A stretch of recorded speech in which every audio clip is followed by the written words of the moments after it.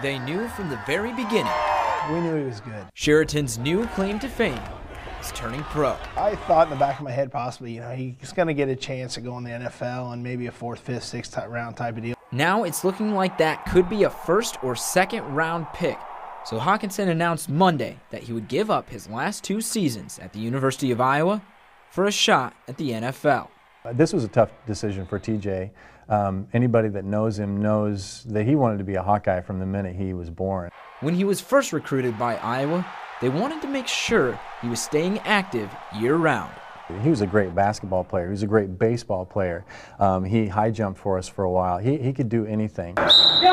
It was hard for his other coaches to watch him leave their sports behind, but it was obvious to them what his calling was. As he got older, you could tell that uh, he was a really good basketball player, but he was a special football player. And they were more than happy to sit in the back seat as Hockenson figured out that his final destination was the football field.